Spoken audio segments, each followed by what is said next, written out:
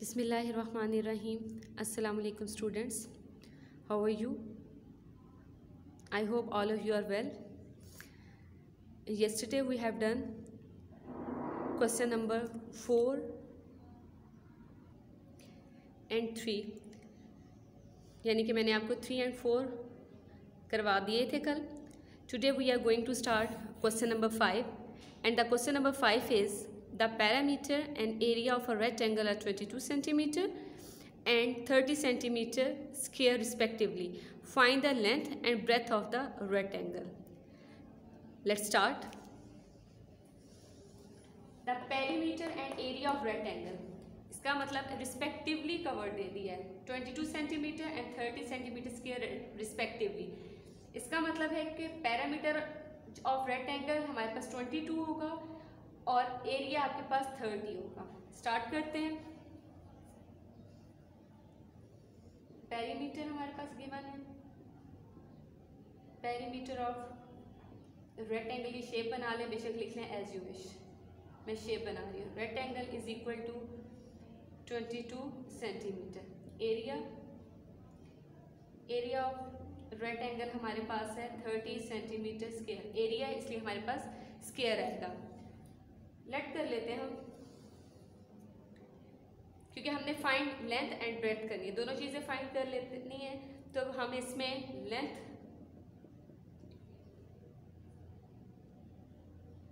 Late कर लेते हैं एक्स नाउ पेरीमीटर हमारे पास गिवन है, उसको हम ले लेते हैं।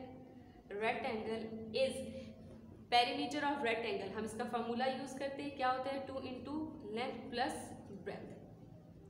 Parameter हमारे पास गिवन है ट्वेंटी टू, उसके पैरामीटर पुट कर देती हूँ twenty two. Now, two length L को एक्स से, लेंथ को एक्स से रिप्रेजेंट किया है और B as it is two यहाँ मल्टीप्लाई हो रहा है ऑपोजिट साइड जाके डिवाइड कर लीजिए। X plus B this is eleven eleven is equal to X plus B आ गया हमारे पास। अगर, क्योंकि मुझे बी फाइंड करना था तो बी इक्वालिटी एक्स माइनस या आप यूँ करें। आपको समझ नहीं आएगा। बी यहीं रहने दें। इलेवन एक्स की ट्रांसपोजिशन होगी। Eleven minus X is equal to B ठीक है? तो मैं इसको राइट कर सकती हूँ। B equality eleven minus X ठीक है? यहाँ से हमारे पास हमने बी फाइंड कर लिया, यानी कि ब्रेथ अब हम एरिया ऑफ़ रेक्टेंगल लेते हैं। रेक्टेंगल हमारे पास है। एरिया ऑफ़ रेक्टेंगल का फॉर्मूला क्या होता है? आप प्रीवियस क्लासेस में पढ़ चुके हैं। Length multiply by breadth area of rectangle हमारे पास गिवन है। Thirty centimetre square equal to length L L हमने क्या सपोज़ किया हुआ था? एक्स तो एल की जगह मैंने एक्स किया मल्टीप्लाई ब्रैकेट लगाई या ब्रेथ अब ये देखिए हमारे पास बी आ चुकी है तो बी की जगह हम पुट करते हैं eleven minus X now solve it this is thirty equality eleven X minus X के ट्रांसपोजिशन कर लें.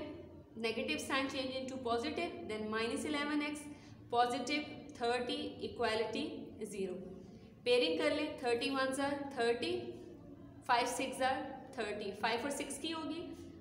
X square minus five X minus six X plus thirty equality zero minus minus plus five और six eleven multiply करने से positive thirty first two term में से common लें last two term से. X common X minus five minus six common लें X minus five negative common आने से साइन चेंज हो गया X minus five one time X minus six equal to zero X minus five equal कर लें zero के x minus six कर लें ज़ीरो के.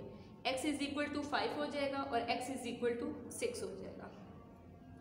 Right right? यहाँ से हमारे पास एक्स आ गया और एक्स क्या था? हमारे पास क्या लेट किया था स्टार्ट में? लेंथ यानी कि ये हमारे पास लेंथ आ गई. यहाँ तक क्लियर है? Okay okay. अब हम हमारे पास x का एक आंसर आ गया फाइव एक आंसर आ गया सिक्स अब हमने दूसरा निकालना है ब्रेथ हमारे पास ये चीज़ें लेंथ है। मैं यहाँ लिख देती हूँ, ये एक्स हमारे पास लेंथ एल और ये भी हमारे पास लेंथ एल है। हमने लेंथ और ब्रेथ दोनों निकालनी थी। लेंथ हमारे पास आ गई है। ब्रेथ का फार्मूला हमारे पास ये है B is equal to eleven minus X हम कोई भी एक वैल्यू टर्म ले लें। फॉर एग्ज़ाम्पल मैं X is equal to six put करती हूँ। वैसे हम ग्रेटर आंसर लेंगे क्यों? क्योंकि हमारे पास जो लॉन्गर साइड है, वो लेंथ होती है। तो हम सिक्स लेंगे, ठीक है? तो x is eleven minus X put कर लें। x is equal to six eleven as it is minus six this is five clear girls now अब आप दूसरा भी पुट कर सकते हैं। Breadth again eleven minus X अब पुट क्या करूँगी? X is equal to five eleven minus five this is six ये भी भी आ गया आपके पास, ये भी भी. दिस इज़ ब्रेथ हम आंसर लिखते वक्त क्या लिखेंगे?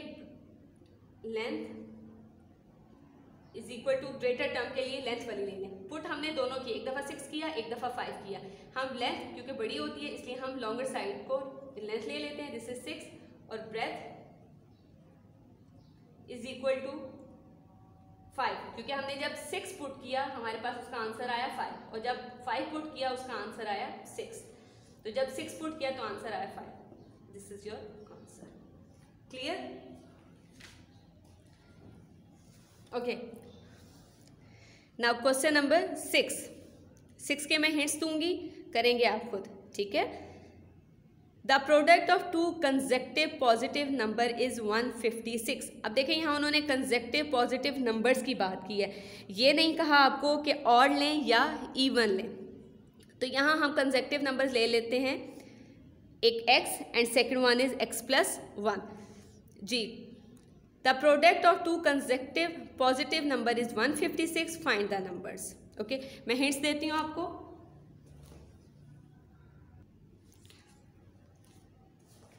First